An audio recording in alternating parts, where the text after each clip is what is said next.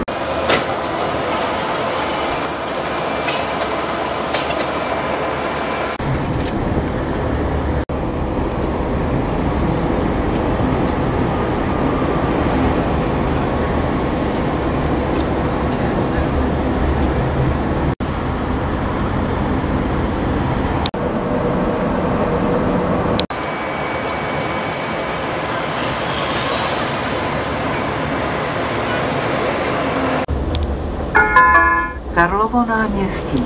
Přestup na metro.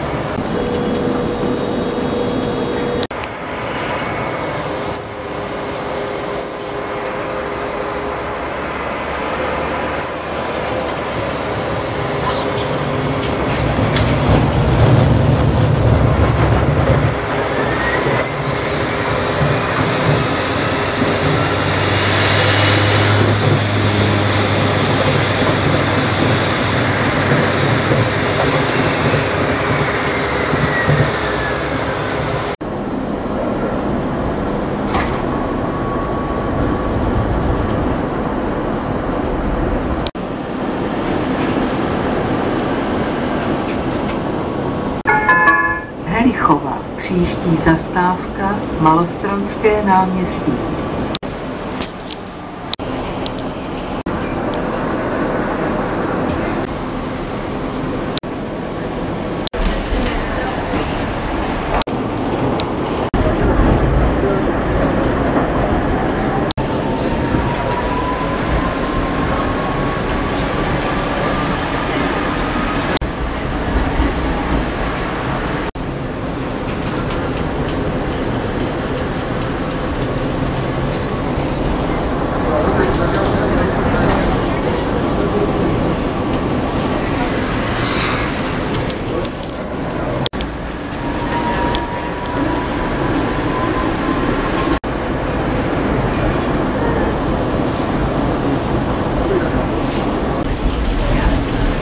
Context. Yeah.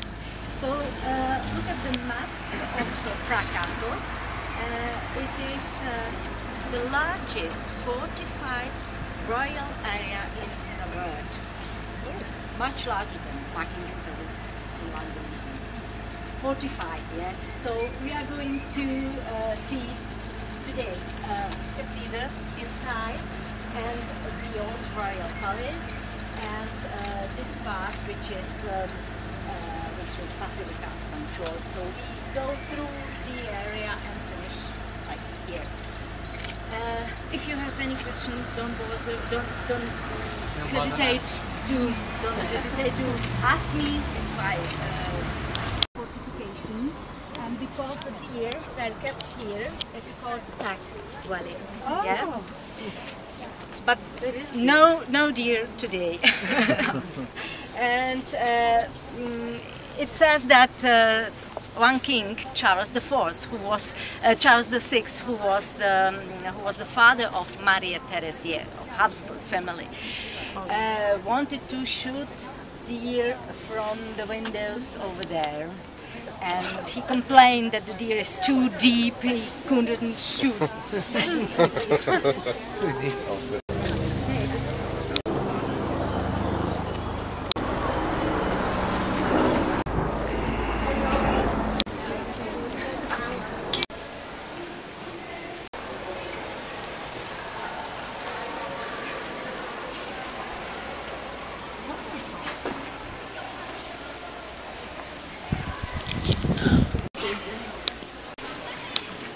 Professors.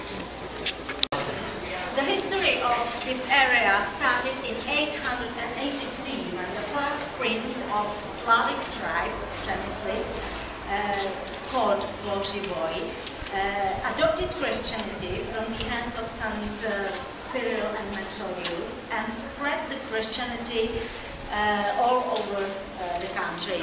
And he moved his tribe, his Slavic pagan tribe, here and built the first stone church of St. Mary. So you can see the basement of the church from 883. Long, long, long time ago,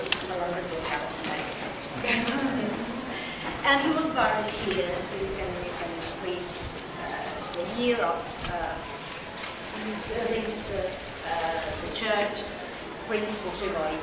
Uh, his wife was Ludmila, and she was a grandmother of Saint Wenceslav. Saint Wenceslav is the main Czech patron. Uh, okay, uh, we start our tour to enter the through the main gate.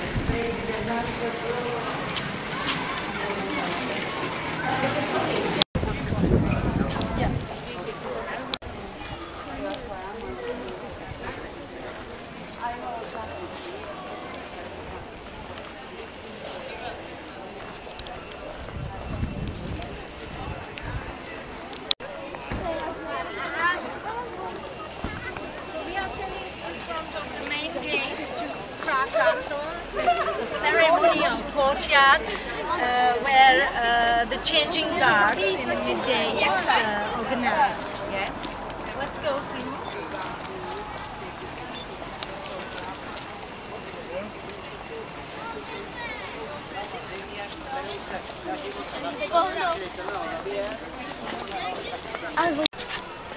time there used to be a moat here and the baroque gate uh, that was built by Matthias so you can read his name Matthias Roman Empire Rex of Bohemia and Hungary yeah Hungary. and then uh, the date of construction which is the year with Roman, uh, Roman letters. numeral, yeah. Can can you guess where, where it is? 1614. It was built. That's yeah. You, You get a cookie. that's the first Baroque uh, Baroque um, gate uh, in Prague, and over the moat there was drawing bridge.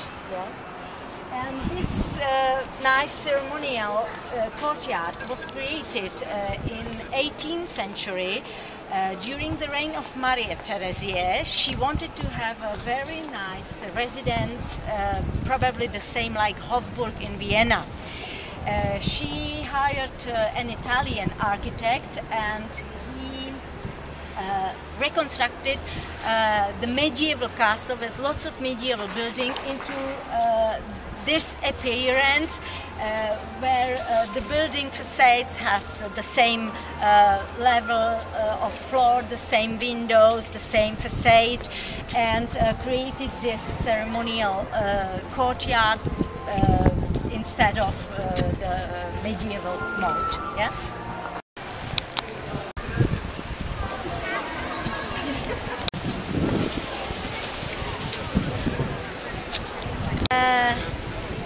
As you uh, look around, uh, also uh, the facades uh, of the building are the same, uh, but in uh, medieval time the um, royal residential houses were here and the stables for horses were there. And when Rudolf II. I have to mention Rudolf II of Habsburg family. Uh, he was not only Czech king, but he was also the Holy Roman Emperor. And he uh, settled in Prague in 1583 because he was quite fed up with his Habsburg family in Vienna. Uh, he needed some um, calm environment and he uh, was keen of uh, keen of collecting lots of uh, arts and things like paintings, statues, and uh, quite uh, very strange, uh, very strange.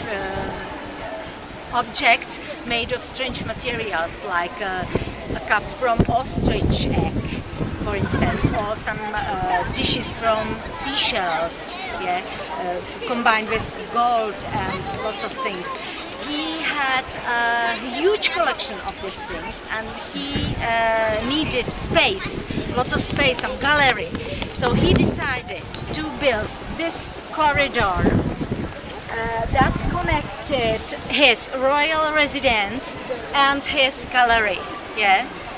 Uh, the, uh, he built the, the gallery on the first floor. Downstairs were stables where he uh, where he kept Spanish horses, and therefore the hall is called Spanish Hall.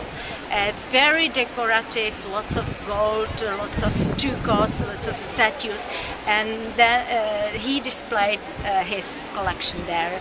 And he could, he was able to to walk uh, to his um, gallery even uh, when it was raining because uh, the corridor was the the roof. Yeah. So when Maria Theresia settled on the throne in 18th century, she uh, wanted to have a perfect uh, appearance here. Uh, so the architect uh, had to solve uh, lots of problems. For instance, uh, that part uh, wasn't uh, in the right in the right corner. Yeah. So therefore, he he had to build the corridor, which is two meters wide on the left side and just 80 centimeters wide on the on the right side, just to get the right corner of the buildings. Yeah. Okay, and some buildings had different level of floors, different different uh, shape of windows, so everything was uh, rebuilt in in this uh, nice appearance. Uh, so you can see the Baroque uh, fountain called Lion Fountain because you can see uh, the three lions on the top holding beers. Yeah. And it's also called Leopold because has letter uh, L uh, show us that Leopold was uh, the king who built this uh, fountain.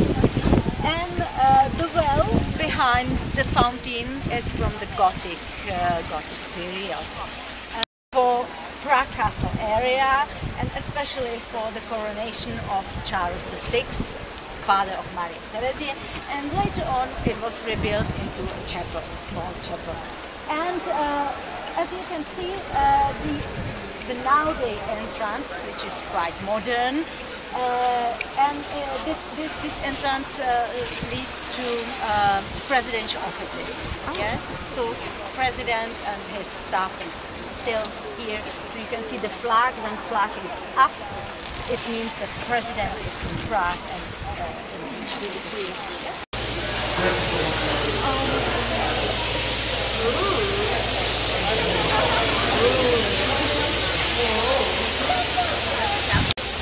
we are going inside the cathedral, yeah?